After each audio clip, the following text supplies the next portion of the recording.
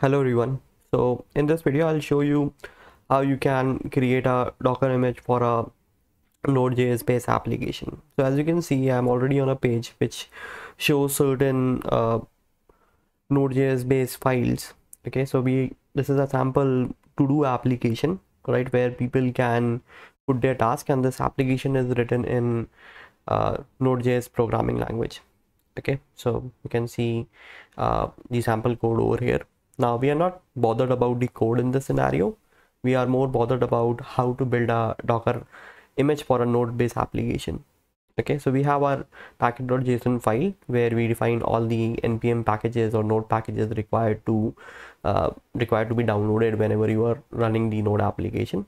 Okay and the next part and the uh, part which we are more bothered about is the docker file. How do you build a docker file for a node based application? So i'll quickly open and explain you this file. So first thing what you'll do is you will start from a base image. Okay so you can start from a base image. In this example i'm using node colon 14 base image. Okay you can find all the base images for uh, which which can be used with uh, different variants of node images. Okay it could be a node base alpine image or it could be a node base uh, ubuntu image. Okay you can find all the variants of node images over here. So i'm using the simple node image uh, which probably comes with uh, by default it come by, by default node image is alpine based okay which comes pre-installed with the uh, node runtime okay. So once we have uh, confirmed like confirmed which image we are using next we will set the working directory as uh, app okay so here is all the commands which will be executed henceforth or after this line. Next we are copying the package.json file okay again inside the app directory. And then we are running npm install which will install all the necessary packages.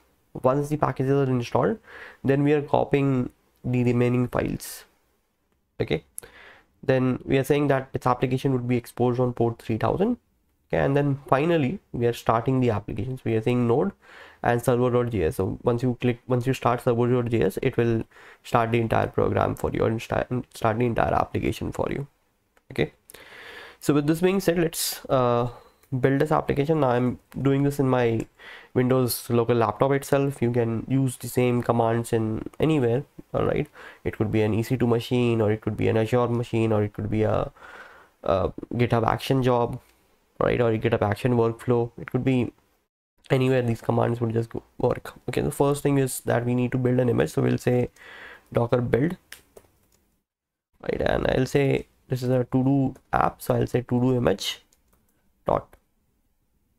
It will first download the node 14 image from docker hub. And once that is downloaded it will uh, next step would be to setting the working directory and then copying the necessary file running npm again finally starting the node application. So it has done all these steps you can see over here. Next is to run our application. So i'll say docker run itd hyphen p. Let's say i want to run it on port 80 locally on my laptop okay and port 3000 is where my application is listening. To do app and the image which we want to use is to do image which is uh, downloaded locally or it is there it is built locally on my laptop. And done. And now I can access the application so I can say localhost.